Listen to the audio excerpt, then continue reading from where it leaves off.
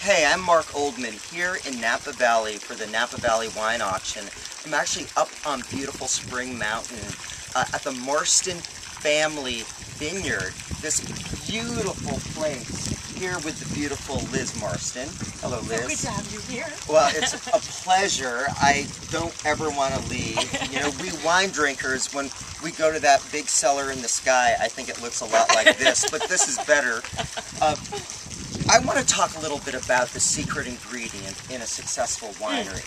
I mean, you guys have the best grapes, perfectly sloped uh, uh, angles here, the soil, the sunlight.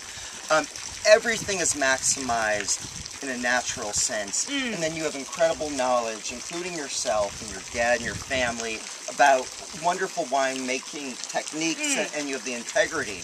But what a lot of people don't realize is there's one other element, a key to a successful winery.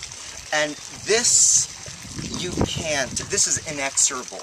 it is a special winery dog. We have For Marcelo example, right here. Right here. Off.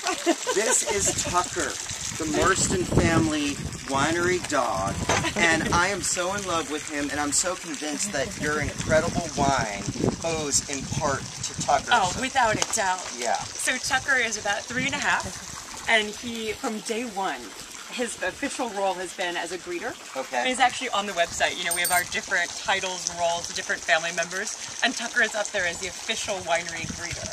And it's something he takes very seriously. He'll sit out on the front porch just waiting. And I'll say things like to him, you know, like, are you ready to go to work? Right. And he'll start doing loop-de-loos. so it's hard to be in a bad mood. And then as soon as, you know, guests get up here winding up our long road, and then they're greeted by this guy who, uh, you know, is bounding out, usually with a bandana on. Right. Does he have different bandanas? He has a wardrobe. A wardrobe, a full-on wardrobe. Why? Because a special winery dog has to look the part. He has one actually just for harvest. Okay. And so the guys see him and they call him El Bendito, And he'll be like bombing down the vines. He has to say hi to everybody.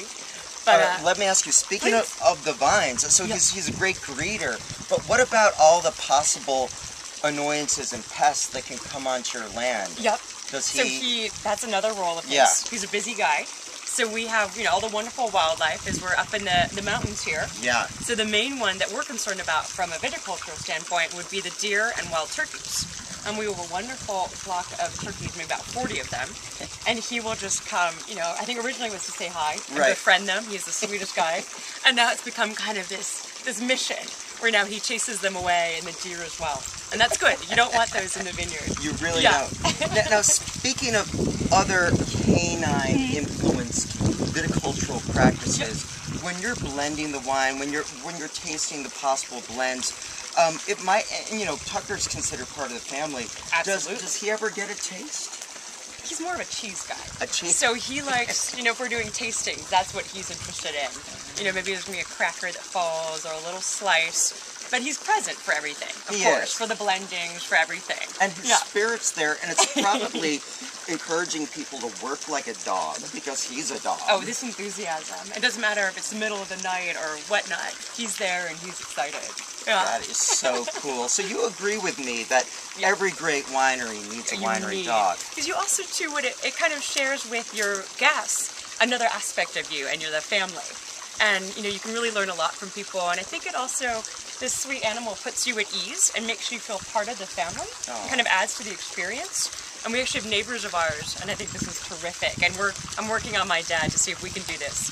But um, they expense all the uh, kibble and vet bills as marketing and security. so That that's is great. brilliant. well, the many, many uses of a special winery Exactly. dog. I love that. Liz, thank you so much. Oh, it's a pleasure. By the way, I'll just give you a little plug here. We've been drinking this Marston Family Vineyard 2008 high-end, delicious mountain-grown Cabernet.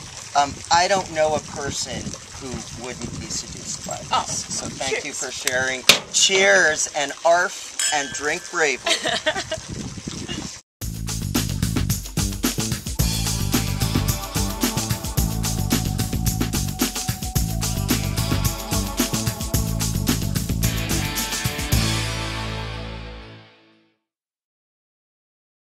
Tucker, the secret weapon to a great winery, aren't you? Yes, look at this head, blockhead, special shaped head.